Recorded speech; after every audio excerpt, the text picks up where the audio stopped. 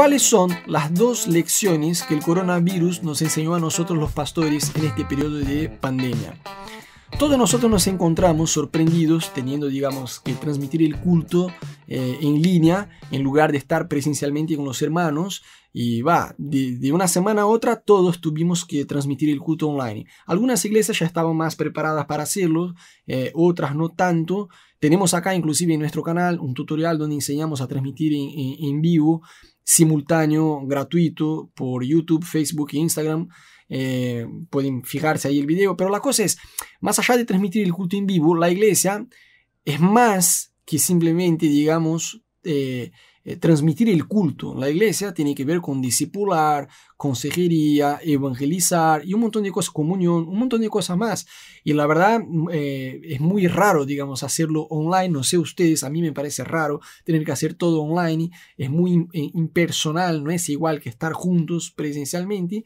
Pero la cosa es, yo creo que hay dos grandes enseñanzas con el tema de la pandemia a nosotros los pastores con este tema del coronavirus. La primera es que la tecnología es nuestra amiga.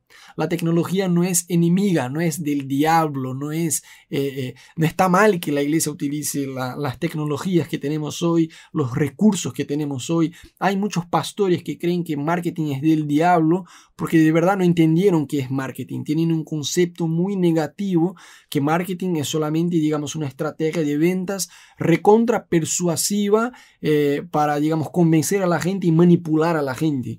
Pero marketing va mucho más allá de eso. Vos que crees que, que, está mal que la iglesia, vos que sos pastor y crees que está mal que la iglesia utilice marketing, déjame darte una noticia que tu iglesia también hace marketing. Cuando vos pones un cartel frente a tu iglesia, cuando vos pones un aire acondicionado en el salón, cuando vos haces cualquier acción para servir mejor a la gente de la iglesia, en realidad estás haciendo marketing. Marketing, el concepto va mucho más allá de ventas, ¿no? Marketing puede y debe ser usado por la iglesia de una forma íntegra, como una estrategia de comunicación online. Pero bueno, ese es un otro tema para un otro día. La cosa es, todos nos encontramos eh, teniendo que, digamos, eh, reinventar la iglesia, reestructurar la iglesia, la iglesia de forma en línea, digamos, online, en el mundo online. Y yo creo que eh, el primer aprendizaje es este. O sea, hay un montón de recursos online. La tecnología es nuestra amiga. Está bien que la iglesia la utilice. Gloria a Dios por, el Zoom, por Internet y por todo lo que estamos teniendo hoy lo que muchos en el pasado decían que era del diablo, y hoy estamos bienvenidos a nuestro culto online, ¿no? Pero está bien, estamos todos aprendiendo. Eh, y yo creo que el segundo y gran aprendizaje que podemos llevarnos de, esta pandemia es que existe una gran, pero una gran oportunidad de evangelismo online. Y es una gran diferencia entre evangelizar, digamos, de forma offline, y cuando yo digo offline es eh, el evangelismo en el día a día, digamos, eh, presencial, ¿no? Vas a, no sé, a la calle a evangelizar, ponele. Entonces, imagínate el siguiente escenario, imagínate que vos vas con eh, vos y nueve personas más de tu iglesia, o sea, vas en un equipo de diez personas a una plaza ahí eh, cerca de tu iglesia a evangelizar, ¿no? Imagínate que estás ahí por dos horas con este equipo de diez personas. Y hay 50 personas en el transcurso de estas dos horas, hay 50 personas ahí y vos evangelizás a las 50 personas con 10 personas de tu iglesia, ¿no? Vos y nueve más, o sea, tenés un equipo de 10 personas. Ponele, yo voy a agrandar los números porque no son así, pero bueno, solo para darte un escenario eh, y una comparación, un comparativo del mundo offline y del mundo eh, eh, online, de las diferencias del offline y el online. Imagínate que vos estás ahí por dos horas evangelizando a 50 personas con un equipo de 10 personas. Ponele que mitad de estas personas se convierten, o sea, mitad, 25 personas, entregan su vida a Jesús. Y ponele que mitad de estas personas que se convirtieron terminan yendo a tu iglesia. Ponele 12, eh, ¿no? Porque no podemos cortar a una persona por la mitad, sería 12 y medio, pero bueno, redondeamos a 12 personas. De 25 personas que se convirtieron, ponele que 12 personas fueron a tu iglesia. En el mundo real no funciona así porque a veces para algunas personas eh, la iglesia se vuelve como un gimnasio, ¿viste? Que si no es cerca de su casa no van. Eh, pero bueno, ponele que en este caso fueran 12 personas a tu iglesia. Habrás gastado dos horas con un equipo de 10 personas en una plaza evangelizando y tenés 12 personas en tu iglesia y mitad de ellas, o sea, 25 personas de las 50 que fueron evangelizadas, se convirtieron. Ahora yo te doy un otro escenario. Imagínate que vos vas a hacer un evangelismo de forma online. ¿Cuántas personas podés llevar para evangelizar?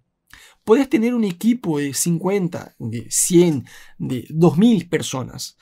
¿Qué quiero decir con eso? Cada video, cada posteo que vos haces en internet funciona como si fuera alguien de tu equipo predicando un, mensaje. Y este mensaje está ahí dando vueltas al contrario del evangelismo en el mundo real, en el mundo presencial, en el mundo offline. Vos tenés, digamos, eh, eh, el evangelismo en la plaza arranca en un horario y termina en un horario. O sea, hay un principio, hay un final. O sea, arranca y termina. El evangelismo online no, vos subís un video evangelizando, este video arrancas y no termina más. O sea, el video se repite una y otra vez a diferentes personas y hasta que vos lo saques del aire, lo que probablemente no querés hacer, sigue evangelizando, sigue predicando un mensaje. O sea, hay una gran ventaja porque el mensaje sigue, digamos, avanzando y no solamente eh, hay un principio y un final. Y tenés un equipo mucho más grande que 10 personas. Cada video, cada posteo que subís es como si fuera alguien predicando. O sea, con el paso del tiempo, dependiendo de la cantidad de contenido que vos subas, tenés un mensaje que llega a diferentes personas. Entonces tenés un equipo más grande, lleva menos tiempo, llegás a más personas y llegás a más personas no solo respecto a cantidad, sino a cualidad. O sea, si vas a una plaza a evangelizar, no necesariamente las 50 personas que están ahí están abiertas a escuchar y quieren recibir a Jesús y arrepentirse de sus pecados. Sin embargo, en el mundo online, vos tenés cómo direccionar, digamos, tu mensaje a diferentes personas. Déjame darte un ejemplo medio tonto, pero para ayudarte más que nada a entender la diferencia del mundo online y del mundo offline. Imagínate que en esta plaza que estás evangelizando con tus amigos de la iglesia, hubiera un pajarito yo te dije que el ejemplo iba a ser tonto, pero es más que nada para ayudarte a entender la diferencia. ¿Está bien? Imagínate que hay un pajarito que está volando por sobre la plaza y este pajarito ve, bueno, hoy Rodo vino a evangelizar en esta plaza, evangelizaron a 50 personas, de las cuales 25 entregaron, digamos, su vida a Jesús. Y ponele que al día siguiente yo vuelvo a esta plaza y vuelve a evangelizar, ponerle que evangelicé 40 personas, 10 personas se convirtieron, al otro día volví a evangelizar por tercera vez, evangelicé a 60 personas y ponerle que 30 se convirtieron, qué sé yo. Y estuve toda la semana evangelizando en esta plaza. Y ponerle que al final este pajarito que estaba, digamos, volando por sobre la plaza, viniera y me dijera, ¿sabes qué, Rodo? Yo identifiqué que hay un, hay un comportamiento que se repite en las personas que recibieron a Jesús. Ponele que al final de esta semana, no sé, 80 personas, te estoy tirando cualquier cosa acá, solo para darte eh, la diferencia del mundo online y del mundo offline. Eh, ponele que el pajarito me dijera, Rodo, ¿sabes qué? Yo me di cuenta que de las, eh, vos predicaste, no sé, al final de la semana 300 personas y ponele que 80 personas se convirtieron. De estas 80 personas que se convirtieron, yo me di cuenta que la mayor parte de ellas tiene interés en A, B y C. Y sabes que hay una plaza acá cerca que en lugar de 50 personas hay 100 personas, o sea, el doble de gente. Pero a la diferencia de estas 50, estas 100 personas tienen interés en A, B y C. Luego ellas tienen más probabilidad de escuchar tu mensaje, porque a ellas les interesa lo que estás compartiendo. ¿Me entendés a lo que voy? Eso es como si fuera, no sé, imagínate que vos vas a, un aeropuerto y está lleno de gente, ¿no? Eh, eh, vos tenés que aprender, digamos, a cómo direccionar tu mensaje a la persona correcta, ¿no? Yo creo que el evangelismo online tiene este gran diferencial del mundo offline porque te permite un evangelismo continuo mientras vos estás durmiendo tu video está en internet, tu mensaje está comunicándose con otras personas mientras dormís. ¿No? Eso es muy loco del mundo online no hay límite, digamos, para, para evangelizar. Entonces, eso es muy loco porque con este tema de la pandemia todos nos vimos obligados a estar en Internet. Y como yo les comenté al inicio, eso va mucho más allá de simplemente, digamos, eh, estar ahí, de transmitir el culto en línea, de transmitir el culto a través de las redes sociales. Eh, eso es lo mínimo que podemos hacer con mi iglesia para mantenernos funcionando, ¿no? Eh, pero el evangelismo es parte de la iglesia.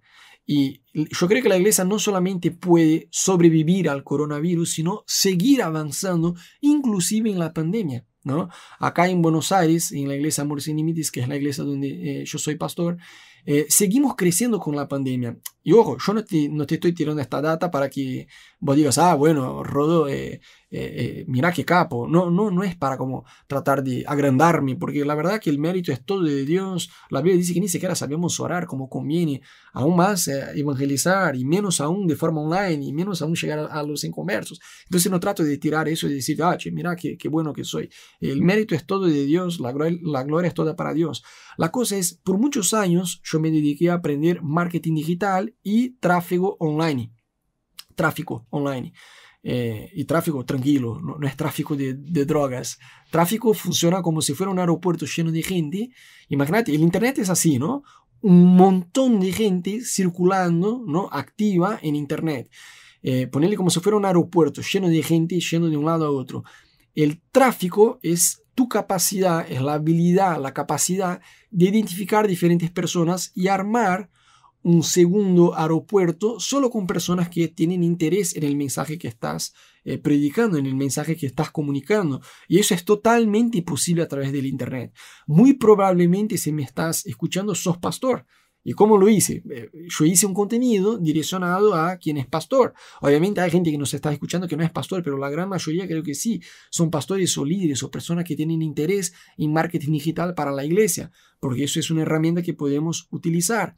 Entonces, a través del Internet puedes construir como si fuera un aeropuerto, o sea, un, un grupo de personas cada vez más grande que tiene interés en escuchar tu mensaje.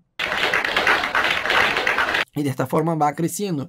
Entonces, acá en Buenos Aires hemos probado con la iglesia Amor Sin Límites, ¿no? la iglesia que yo soy pastor, hicimos un, trabajo con, con, las redes sociales y con Internet que ya veníamos haciendo hace años y, que nos resultó muy bueno porque mucha gente llegó a la iglesia, personas reales que pudimos bautizar, que pudimos discipular, que pudimos presentar Jesús a estas personas. Este, y ahora con el tema de la pandemia, yo le decía a mi esposa ¿no? que yo quiero obviamente que la pandemia termine, se acabe, pero está muy bueno que la iglesia siga en el mundo online, ¿no? Eh, pudimos crecer con los pequeños grupos, gente nueva llegó a la iglesia y esta es una realidad que vos también podés probar en tu iglesia, no es algo exclusivo de una o de otra iglesia o de iglesias muy grandes, eso es algo que te puede tocar a vos si vos aprendes marketing digital y si vos aprendes tráfico online, ¿no? Es algo que vos podés usar a favor del reino de Dios. Y, si vos decís, ah, pero marketing es del diablo, la iglesia no debería meterse con marketing, eh, déjame decirte, querido pastor, que si vos pensás que marketing es del diablo, tu iglesia también hace marketing. Vos haces marketing sin saberlo, ¿no? Y ese es un otro tema para un otro día, pero la cosa es, si yo te pregunto, ¿quién fue que salvó a Noé del diluvio? ¿Fue Dios o fue el arca? Fue Dios a través del arca. Es igual, ¿quién va a hacer la iglesia crecer en el tiempo de, epidemia, de, pandemia, donde no podemos juntarnos presencialmente? Dios va a seguir cuidando de su iglesia, Dios va a seguir siendo el que agrega gente nueva a la iglesia. Pero ¿cómo lo va a hacer? Va a, ser a través del Internet. Y eso no podemos espiritualizar, decir, ah, Dios sabe todas las cosas, Dios se va, Dios se va a encargar de hacer con que mi iglesia crezca. Debemos aprender cosas nuevas para poder seguir creciendo a través de las redes sociales. Hay un gran, una gran oportunidad con este tema de la pandemia. y yo te digo que es una gran oportunidad porque la gente también está más conectada que nunca al Internet. Y la iglesia tiene que estar ahí. Y cuando digo estar ahí, no es simplemente tener un sitio web y redes sociales de la iglesia. Eso creo que todas las iglesias ya lo hacemos, ¿no? Es aprender tráfico, es aprender eh, marketing digital para poder llegar a las personas con, con el mensaje del Evangelio. Mi oración es para que la pandemia se termine, para que la iglesia, pero que la iglesia siga online creciendo y predicando el mensaje de la salvación. Tenés una gran oportunidad delante tuyo con tu iglesia. Ese es el tiempo de meterse en Internet, aprender cosas nuevas y poder llegar a una audiencia mucho más grande de, lo que ya habías pensado anteriormente antes de esta pandemia. No te quedes como, ay, que se termine pronto la pandemia porque no aguanto más este curso online y yo soy de otra generación. No, todos queremos obviamente que se termine la pandemia, pero aunque se termine la pandemia, no sigas haciendo evangelismo como hacías antes. Antes la mayor parte de las iglesias, inclusive en forma online, hacían el marketing de la esperanza, ¿no? Que es tener simplemente las redes sociales de la iglesia activas, digamos, modernas, bien hechas, bien desarrolladas, un sitio web online y literalmente orar para que la gente venga a la iglesia. Yo posteo algo en mi Facebook y espero que alguien en mi iglesia etiquete a un amigo o lo comparta con alguien y de esta forma la iglesia crezca. Pero no funciona así. Puede llegar gente de esta forma, pero una cantidad mínima de gente, ¿no? Hay otras formas, hay otras herramientas que uno puede utilizar y que están disponibles para la iglesia para el crecimiento del reino. Bendiciones.